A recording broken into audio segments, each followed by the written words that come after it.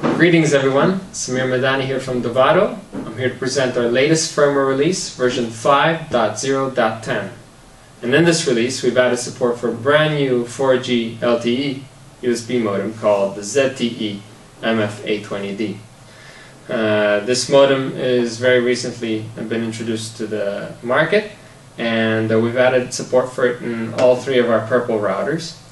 Uh, starting from the left there you have the Dovado 3GN which has a maximum throughput of 25 to 30 megabits because it's a very old hardware uh, CPU compared to the new routers that you have here on the right which is the Dovado Tiny, our latest edition, and the one before that is the Dovado 4GR.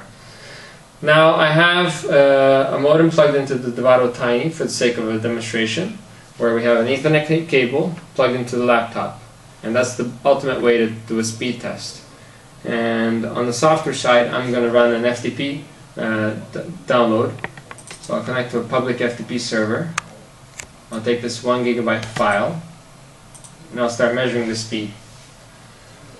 So as you can see here on the DU meter you have the stopwatch functionality showing 55 megabits. If I raise the modem and if I lower it for instance there you have it. It's in its 60s already. So the speed will go up and down. You have to find a good angle.